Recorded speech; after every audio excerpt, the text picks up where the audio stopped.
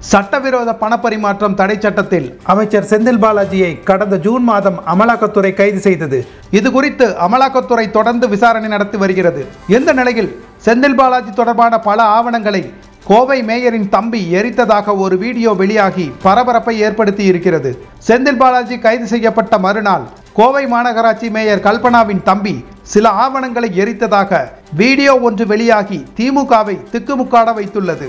செந்தில் பாலாஜி கைதான அடுத்த நாள் கோவை மேயர் கல்பனாவின் தாய் தம்பி குமார் வசிக்கும் வீட்டுக்கு அருகில் சில பெட்டிகள் வந்து இறங்கியதாகவும் அதில் இருந்த காகித ஆவணங்களை மேயரின் தம்பி குமார் அங்குள்ள மைதானத்தில் கொட்டி தீ வைத்து எரித்ததாகவும் வீடியோ வெளியாகி இருக்கிறது அதில் எரிக்கப்படாத சில காகிதங்களை பண பரிவர்த்தனை நடந்ததற்கான வார்த்தைகளும் இருக்கின்றன.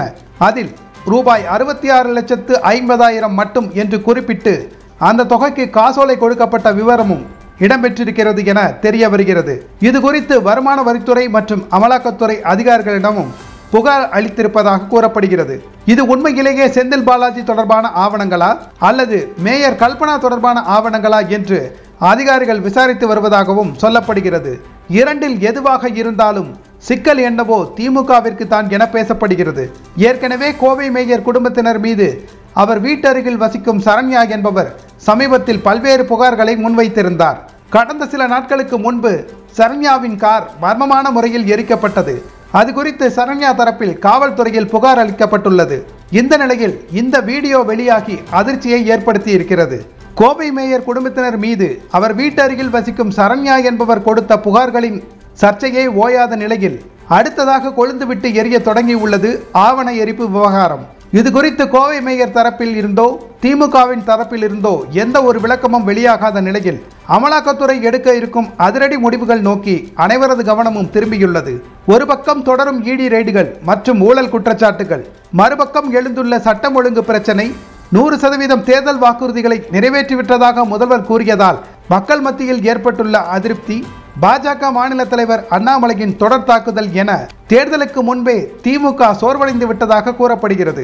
இத்துடன் சனாதனம் என வாயை கொடுத்து இந்தியா கூட்டணியில் திமுகவை இல்லாமல் செய்ய போகும் உதயநிதி எத்தனை எத்தான் சமாளிப்பார் முதல்வர் ஸ்டாலின் என்பது அறிவாலய வட்டாரத்தில் எழுந்துள்ள கேள்வியாக உள்ளது.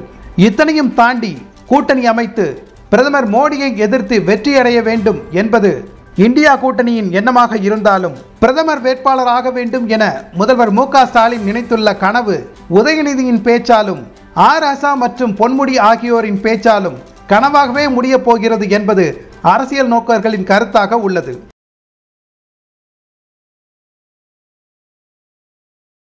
பத்தாம் வகுப்பு படித்தவரா நீங்கள்? நீங்களும் மத்திய அரசு பணியில் சேரலாம். எஸ்எஸ்சி நடத்தும் எம்டிஎஸ் தேர்வில் பங்கேற்று வெற்றி வாகை சூடுங்கள். சன் ஐஏஎஸ் அகாடமி நடத்தும் எஸ்எஸ்சி எம்டிஎஸ் தேர்வுக்கான பயிற்சியில் இன்றே இணைந்து பயிற்சி பெறுவீர் வெற்றி பெறுவீர். தொடர்புக்கு double nine five two nine two triple zero one seven three nine seven three triple five one seven